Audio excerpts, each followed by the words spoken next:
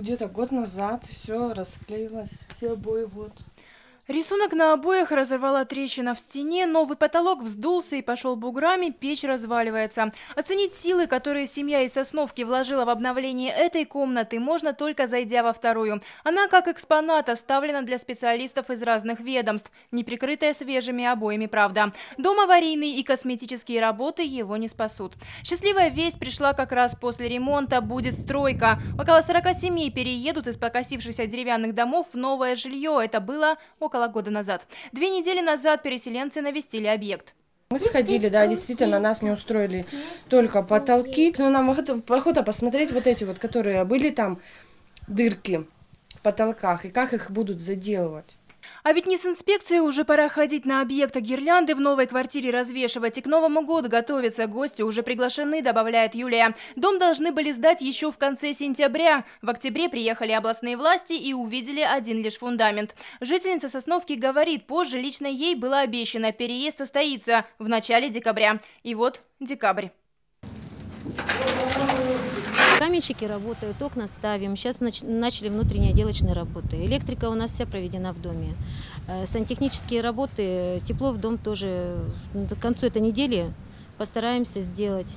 Еще предстоит возвести половину крыши. К концу года названные работы, возможно, и удастся завершить, но полностью дом сдан еще не будет. Надежд на это не осталось уже ни у самих строителей, ни у властей.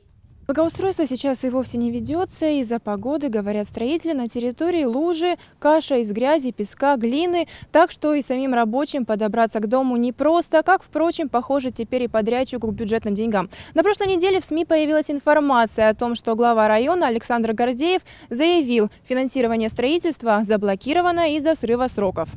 Размер замороженных средств – 10 миллионов рублей. Таково решение Департамента строительства области. Цитата Александра Гордеева с сайта Вологодского района. Подрядчик продолжит строительство объекта на свои средства. При этом сами работники говорят, и так закупают все материалы в долг. Направлялись бы бюджетные средства вовремя, такой ситуации бы не было. В муниципалитете же отвечают, деньги поступают этому подрядчику даже быстрее, чем многим другим в области. Впрочем, это не единственный спорный вопрос, связанный с финансами вопросами, что в принципе значит та самая блокировка. На камеру нам не пояснил никто из чиновников. И в правительстве области, и в муниципалитете череда совещаний и планерок. Комментарий, полученный по телефону, лишь озадачил.